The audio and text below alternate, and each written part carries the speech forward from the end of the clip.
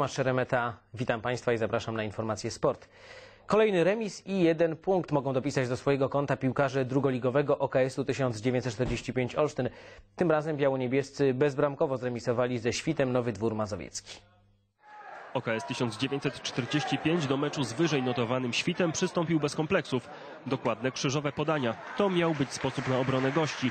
Powinno to przynieść efekt w 23 minucie. Dogodną sytuację zmarnował Arkadiusz Koprucki. Minutę później z metra do siatki rywali nie trafił Łukasz Tumicz i nadal na stadionie przy Alei Piłsudskiego było 0 do 0. Ale to nie koniec emocji w pierwszej połowie. W 26 minucie musiała w końcu paść bramka dla gospodarzy. Sędzia podyktował rzut karny, do piłki podszedł Paweł Głowacki i trafił prosto w bramkarza Michała Bigajskiego. Nie rozliczamy tutaj indywidualnie Pawła, tu wiadomo, yy, łatwiej jest nie podejść do karnego i wtedy oceniać, tak? On podszedł, nie strzelił i, i trudno, to, to się zdarza w piłce. Do przerwy bramki więc nie padły i tu pojawia się pytanie, ile sytuacji potrzebuje OKS, by trafić do siatki rywala.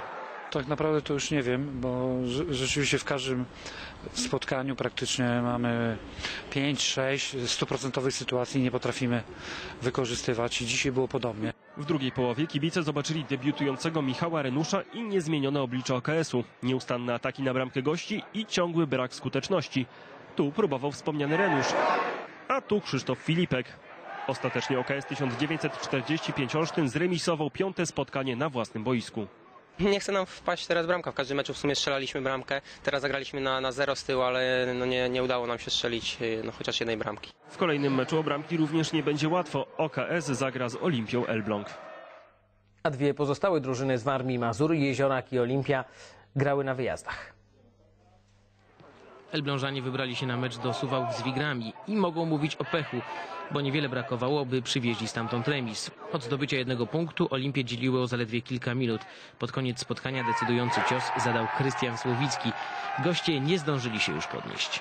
Zagraliśmy najsłabszy pojedynek w tej rundzie, bezwzględnie i trzeba powiedzieć, że było to widać. Graliśmy chaotycznie, nie tworzyliśmy sytuacji bramkowych bezwzględnie. Myślę, że ten mecz powinien skończyć się remisem. Powody do narzekań mogą też mieć piłkarze Jezioraka, którzy przez większość czasu prowadzili na wyjeździe z Sokołem Sokółka po bramce Tomasza Sedlewskiego. Zwycięstwo i Ławianie stracili 16 minut przed końcowym gwizdkiem. W drugoligowej tabeli najwyżej z naszych drużyn Olimpia Elbląg na miejscu ósmym. 12 jest Jeziorak, 16 pozycję zajmują Olsztynianie. I to wszystko na dziś. O sporcie mówimy też w tygodniu po informacjach o 16 i 18.30. Dziękuję za uwagę i do zobaczenia.